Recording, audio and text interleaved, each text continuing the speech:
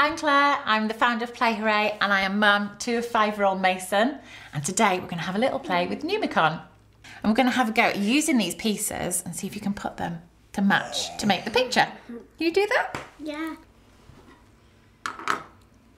That's it. You're matching them by their colours or the shapes. Well done, good job. That was really fast. Yeah. We take this picture off. I've got another one and I wonder if you can tell me what it is. Rocket. A rocket, yeah. Now I'm going to bring lots of shapes over this time. Pop them in the bag and see if you can find the shape for number five. Four. Five. Five. Oh, fantastic. One. One, another one. Well done. On your thumb. Now then we've got one more shape to find. It's got two. Can You have a look in the bag. See if you can find the last shape. Two. Well done.